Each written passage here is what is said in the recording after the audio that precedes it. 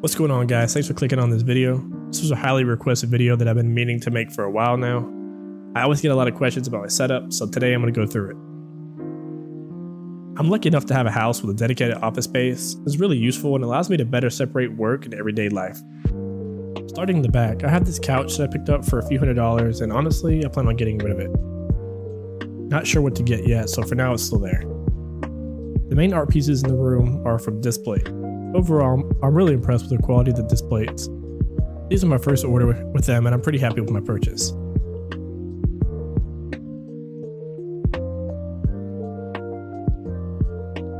I got a Louis Vuitton one because honestly it just looked cool along with the off-white piece. In the center I have a Juice WRLD piece because if you didn't know that is my favorite artist. I will probably change these in the future but for now they're going to stay. Moving on to these lights, these are actually color changing floodlights that are meant to go outside, but I like them as accent lights because they're crazy bright and look pretty cool.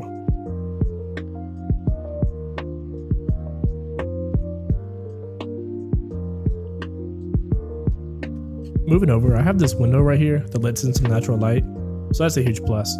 It, it makes the room feel a lot bigger than it is, and it's always nice to get some sunlight.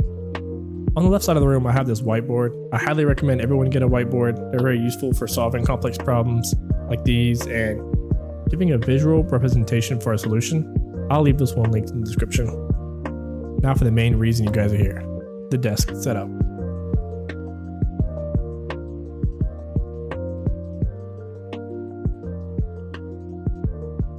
This is an 8 foot butcher block from Home Depot that I applied some stain to get this color.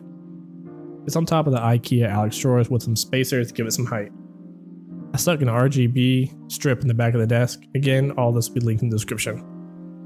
Starting on the left side, I keep a few things over here. This is a room spray that smells really good. It's a pretty good alternative to the regular store sprays. Next is this candle. Sometimes I like lighting a candle because it gives off a nice vibe and it's pretty relaxing. The next two items are just some fake plants that add a color to the desk.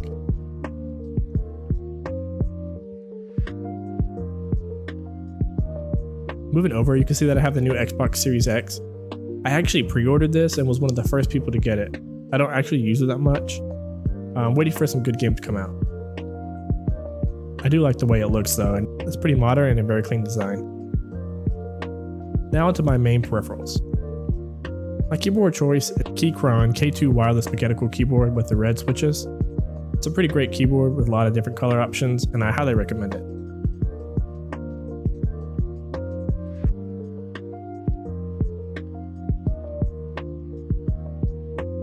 Moving on to the mouse, I use the Logitech G604 Lightspeed wireless gaming mouse. It's a great mouse and I didn't really want to mess with a lot of wires and have it clutter up the desk. It's pretty responsive and I use it for gaming and I haven't really had any issues with it. Moving on, I have my AirPod Pros. I ordered these when they first came out and I've used them almost every single day since then. Definitely one of the best true wireless headphones and the active noise cancelling is great when you really want to focus on your work. When I need a little bit more inversion, I go for the Sony WH-1000 XM4s. I use these when I want to switch it up and have a little bit more comfort on the ears. And then when I'm sitting at my desk and want a little bit more freedom, I use these studio speakers from Edifier. They are the Edifier R1850DB active bookshelf speakers. These things are insane. They're super loud and clear and fill an entire room. They're great for listening to music or watching way too much YouTube.